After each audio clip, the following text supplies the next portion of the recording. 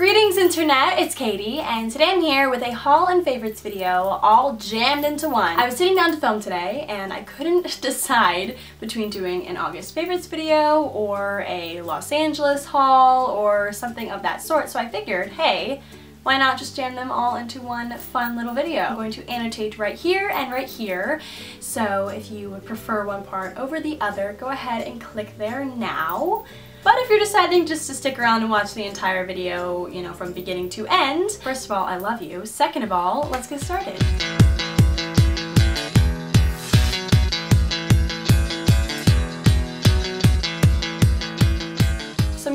This video with the favorites portion. So these are my favorites for the month of August. So let's start out with the beauty favorites. I guess, okay, eeny, meeny, miny, mo, catch a tiger by his toe. Okay. So the first thing is something I use in basically all of my tutorials, but I feel like I don't really harp on it too much, and it's the Beauty Blender. So it looks like this. Mine's kind of deformed looking because I just washed it. It's this little pink guy. There's something magical inside of it. It makes any foundation or concealer, etc. just appear so lightweight on your face. Even if it might not be the most lightweight formula, it really does a great job of blending it. I also have the Solid Blender Cleanser, which is how you clean the sponge, and it's super, super easy. All you do is you get it wet, and you kind of, you know, do that thing right there, whatever. There's instructions in the back. I'm not very good at explaining things like that, but yeah.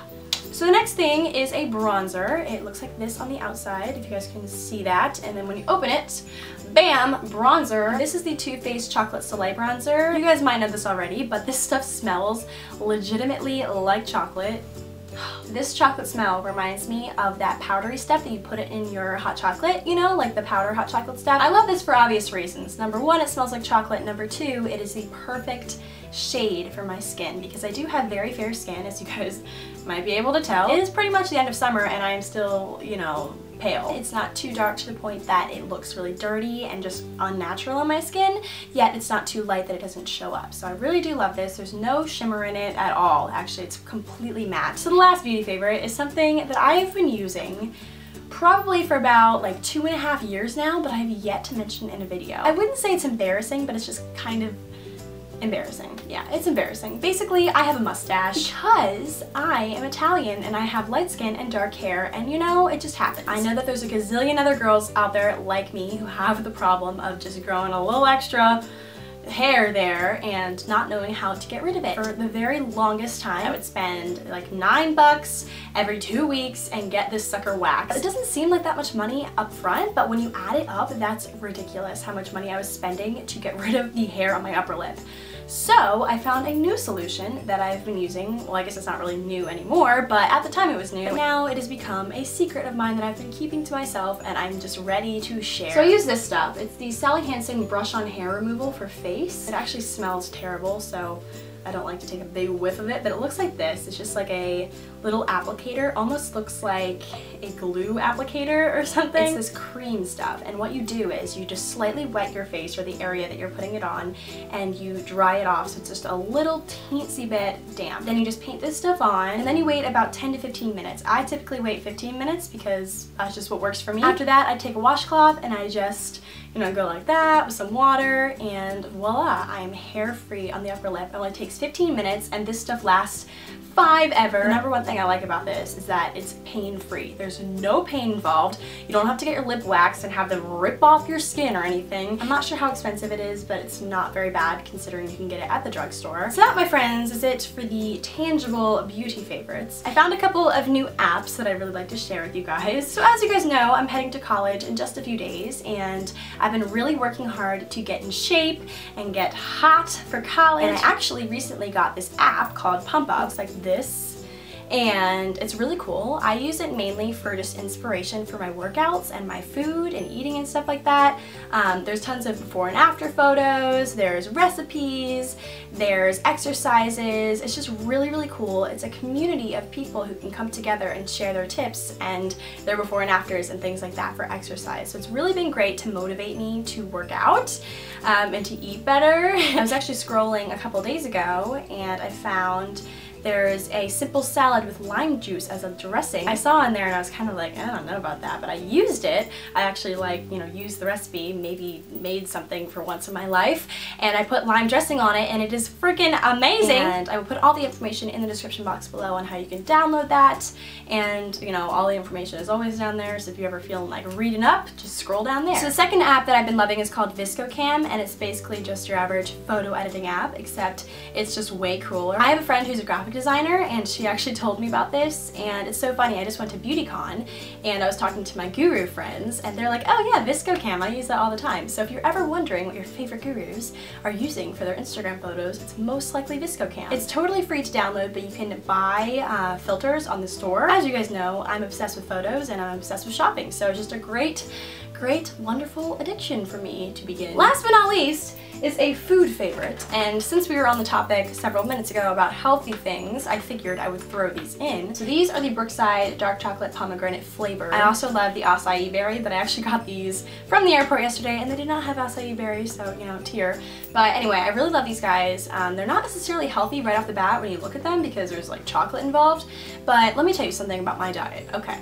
So eating healthy is very important. I find that when I load my diet completely with like rabbit food and goji berries and all that stuff that's just really, really strictly healthy, I find that I stick with it a lot less easily. Unless I have some things in there, like these babies, that can break up my health food and kind of just you know, tell my body it's okay to cheat a little and bit. I'm just having a little rough moment or I just need some chocolate or something or other, I just come to these things. So congratulations, you've made it to the haul portion of this video. Applause, applause for you. I'm gonna try to do this rapid fire because I personally hate sitting through hauls that are 10 years long. I'm just gonna show you guys a little glimpse of what I bought, where it's from, about how much, and then move on to the next thing. I'm not gonna do a try on haul this time because I'm gonna do a little lookbook video soon. Whoop.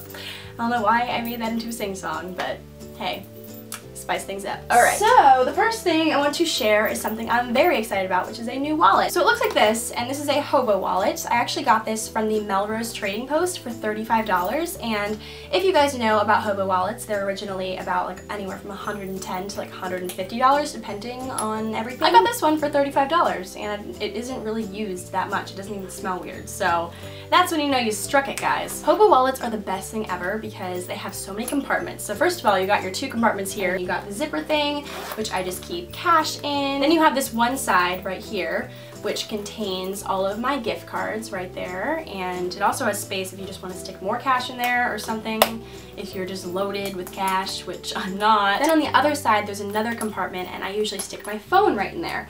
And it fits perfectly right in there and then there is your wallet. And you only have to keep track of one thing. The next thing I'm very excited about is this hat right here.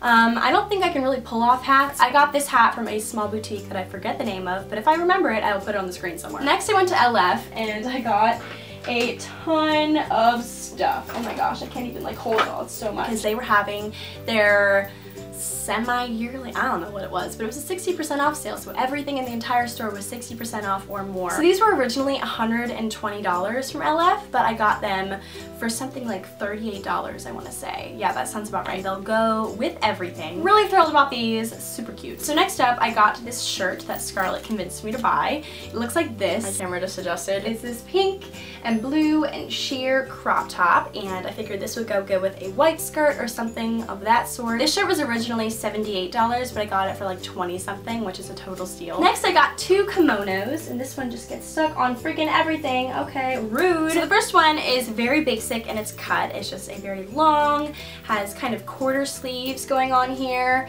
Um, you can't really see from me just holding it. It's a basic kimono cut, but it has this black and white just tie-dye on it, and I'm pretty sure, yeah, Lindsay also bought this exact same one because we are both obsessed with it in the dressing room. It's absolutely gorgeous. It was originally $168, but I got it for 58 I think. I'm trying to remember the prices, but they were all just very reasonable. I got so much stuff for way less than I should have. this one just looks like this and it has these tassels on it and this floral, very sheer sort of look to it. it. Also came in a like brown sort of color, but I was trying on both of them and Lindsay told me to get this one. It's basically a rule of thumb to listen to Beauty Baby 44, so I bought it. And I'm sure it'll be in an outfit of the day post very soon and it was also $58. So next up I got a dress. Honestly I'm probably gonna wear this to the next YouTube event I go to. I was just so in love with My it. My camera does not like the white um, but it looks like that. It's one of those really trendy necklines right now where it just kind of cuts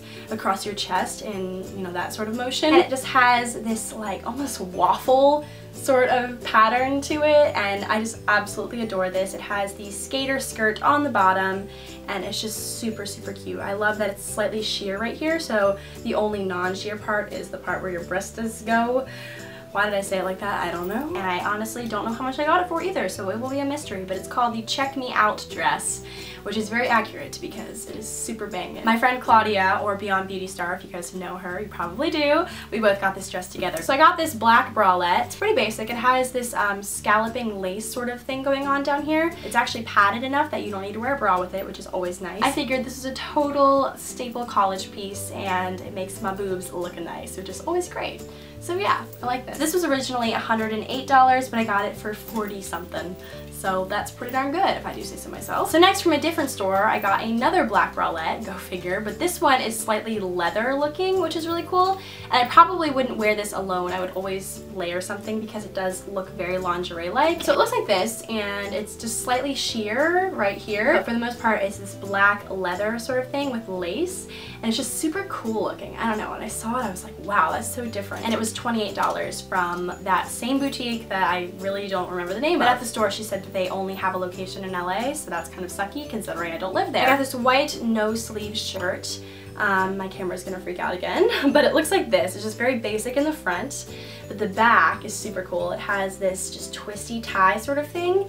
And I know there's a ton of tutorials on the internet on how to DIY this, but I just fell in love with the way that this fabric feels and just everything about this shirt. It's from the brand Rehab and it was $34. Then lastly from that little boutique, I got this necklace, which I actually wore at BeautyCon if you saw me there. And it's this purple gemstone sort of thing. Um, and I don't know if you guys know this about me, but when I was like in, I would say, maybe first through fourth grade or so, I had an unhealthy obsession with rocks. I had this huge phase where I wanted to be an archaeologist and I was just so fascinated with rocks and bones and things like that. So I went to this museum called the Smithsonian, which you guys might have heard of. It's actually located in DC, which is fairly close to the state that I live in. And I would go there like once every few months, which is actually very frequent if you think about it with my grandma because my grandma understood me um, I really miss her, but she totally understood my rock obsession. Although that phase of my life kind of died, I've still always had this fondness for cool looking rocks. So when I saw this necklace, I was just so obsessed. It looks like this.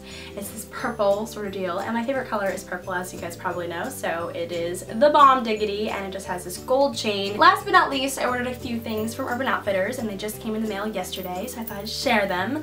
Um, first thing is this little clutch uh, bag wallet all in one and it looks like this. It's like an animal pelt sort of thing. It's obviously faux. It's not a real animal pelt but it looks like kind of like a cow almost but like smaller spots I don't really know it was totally an impulse purchase if I'm being honest but I liked I got two different flippy skirts and I like to call them flippy skirts although I'm pretty sure they're technically called mini midi mini mini, mini skirts, mini skirts. I can speak, I promise. They're just your standard little flippy midi skirt. I got one in black and one in white, and these are just total staples, and I like how they have the pleats going down. I don't know if you guys can see that. I think they were in the $30 range or something like that, and the fabric is so nice and durable and I love them. So yeah, that is it for my haul today and my favorites video all in one. I hope you guys enjoyed. And when I see you guys next in a sitting talking sort of format, it will be in my college dorm. So yeah, I'll see you guys all in my next video.